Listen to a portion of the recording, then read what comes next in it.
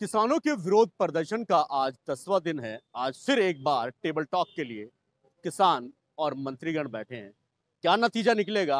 अगर हम पिछली मीटिंगों की बात करें तो जिस तरीके से नतीजा रही है, सारी मुलाकातें, क्या इस बार भी वही होगा? अब तो ये खैर थोड़े वक्त के बाद क्लियर हो जाएगा। लेकिन किसानों ने अपनी रणनीति बनानी शुरू कर दी है। इस वक्त हम बदरपुर बॉर्डर है पे मौजूद हैं और यहाँ पर दिल्ली पुलिस ने खास तौर पर खासे इंतज़ाम किए गए हैं। मैं आपको अगर तस्वीरें दिखाने की कोशिश करूँ तो यहाँ पर बैरिकेड किया गया है पूरी तरीके से और बैरिकेड करने के बाद यहाँ पर जो डिवाइडर है, उनको रखा गया है और एक एक गाड़ी की गहनता से तलाश की जा रही है। उसके बाद ही किसी को आगे जाने की इजाज़त दी जाती है। पुलिस फोर्स आप जिस तरीके से देख रहे हैं यहाँ पर कि पुलिस फोर्स को पूरी तरीके से डिप्लॉय किया गया है। अलग अलग थानों से आए हैं, दिल्ली पुलिस के जवान हैं पैरामिलिट्री फोर्सेज हैं बीएसएफ है और दूसरे कई ऐसी कंपनियाँ यहाँ पर डिप्लॉय की गई हैं। तकरीबन दिल्ली के सभी बॉर्डर चाहे वो नोएडा हो, गाजियाबाद हो आपका सिंधु, सिंगू बॉर्डर हो या फिर टिकरी बॉर्डर हो, सभी जहाँ पर लगातार इस चीज़ को सुनिश्चित करने के लिए दिल्ली पुलिस जद्दोजहद कर रही है कि किसी तरीके से किसान दिल्ली के अंदर प्रवेश न कर पाए। लेकिन किसान भी अपनी जिद पर है कि हम अपने देश की राजधानी में आखिर क्यों नहीं जा सकते। इसी तरीके से दिल्ली के अलग अलग इलाकों में मैं और, अब कुछ और बॉर्डर्स हैं जहाँ पर वो भी दिखाने की आज कोशिश करूँगा और आपको वो सभी सूरत हाल दिखाऊँगा जिससे आपका सीधा है सरोकार और किसान आंदोलन किस रुख बैठेगा, ये आने वाला वक्त बताएगा।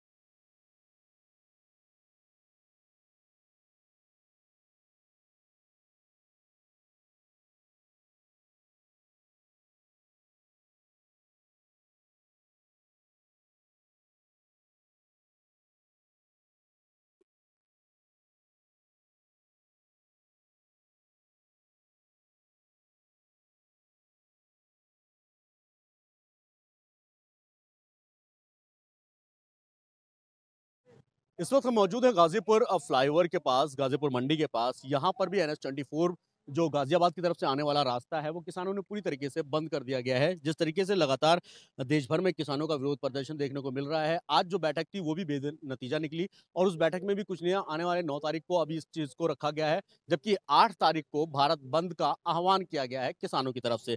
तो क्या लगता है कि अब जिस तरीके से लगातार सरकार मीटिंग पे मीटिंग तो ज़रूर कर रही है, लेकिन उसके बावजूद भी कोई हल निकलता फ़िलहाल नज़र नहीं आ रहा है। किसान, यहाँ पे एन एस ट्वेंटी फोर पे गाजीपुर फ्लाईओवर के ऊपर जो किसान बैठे हैं, वो पूरी तरीके से अब इस बात को लेकर है कि आर पार की लड़ाई के मूड में फ़िलहाल नज़र आ रहे हैं और उनका साफ़ तौर पर कहना है कि अगर मांगे नहीं मानी गई, या किसी तरीके से कोई भी ऐसा चीज़ नहीं निकल कर आई जिससे किसानों को जो हित में ना हो, उसके खिलाफ आंदोलन ये लगातार जारी रहेगा। लंगर भी चल रहा है यहाँ पर और भी बाहर से किसान आ रहे हैं। यहाँ पे जो तराई क्षेत्र के जो किसान हैं, वो फ़िलहाल यहाँ पर आए हुए हैं और वो लोग अब इस चीज़ को लेकर सुनिश्चित करना चाहते हैं। वहीं दूसरी तरफ़ एक चीज़, एक बड़ी बात दिखाना चाहूँगा कि इस प्रोटेस्ट में जो भी इमरजेंसी व्हीकल्स है या एंबुलेंस कह लीजिए फायर ब्रिगेड कह लीजिए, कोई भी ऐसी इमरजेंसी व्हीकल्स हैं, वो पूरी तरीके से आने की उनको इजाज़त है और यहाँ के खुद किसान उनको रास्ता देते हैं और रास्ता बनाते हैं। यहाँ पर आप देख सकते हैं सैकड़ों की संख्या में किसान जो हैं, वो मौजूद हैं और वो इस बात को लेकर कि जिस तरीके से लगातार सरकार के तक अपनी बात पहुँचाने की कोशिश कर रहे हैं, जो मांगे हैं उनकी, जब तक वो मांगे पूरी नहीं होती, तब तक किसान किसी भी तरह से समझौते के मूड में फ़िलहाल नहीं है।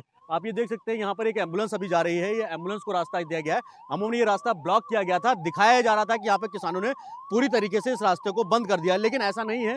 जो एमरजेंसी व्हीकल्स हैं, जो एंबुलेंस है, उनको जाने की इजाज़त दी गई है और वो किसान खुद खड़ा होकर यहाँ पर उनको जाने की इजाज़त देता है। तो अब देखना यही है कि जिस तरीके से साफ़ तौर पर ये कहा जाता था कि यहाँ किसानों ने पूरी तरीके से एन एस को बंद किया गया है।